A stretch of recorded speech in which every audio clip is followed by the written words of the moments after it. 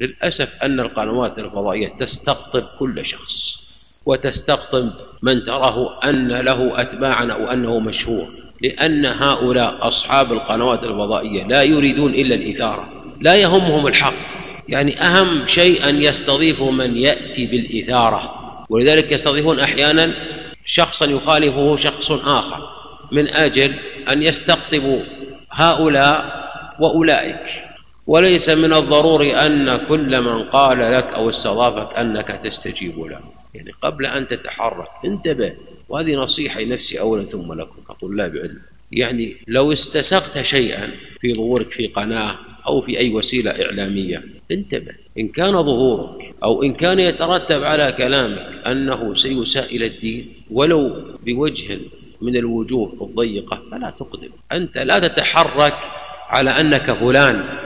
لو كان الأمر يتعلق بك كفلان من أن الذنب سيعود إليك أو أن هذا هو رأيك لكان الأمر هينا لكن أنت يا فلان تتحدث باسم من؟